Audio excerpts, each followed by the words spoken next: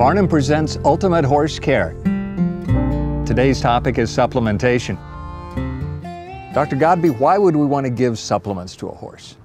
I think a lot of people don't understand what supplements really are, and the truest definition is they supply something that's missing in the diet.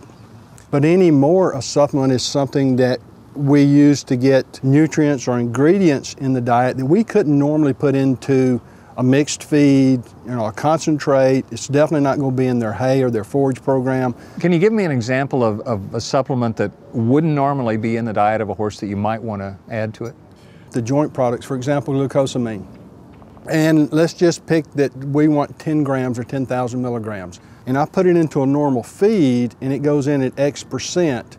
Well, I have a horse that gets one pound because he's an easy keeper. I have a horse that gets eight pounds because he's a hard keeper or getting worked very hard which one is going to get the 10,000 10, milligrams?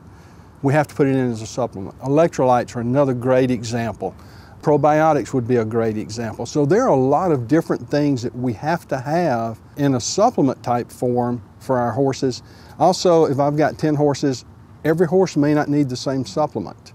There's so many supplements on the market. How do I decide what's a good one for me? The number one things that I look for in a supplement is one, the company. Is it reputable? Do they have people involved in science? Do they formulate it? Do they do cutting edge stuff or do they do Me Too products? That's a big difference. And we can do longevity of the company. We can look at the National Animal Supplement Council logo that we see on the front of a lot of products. And what that is, is kind of the good housekeeping seal. So those are things to look for. To learn more, visit farnamhorse.com. Farnam, your partner in horse care.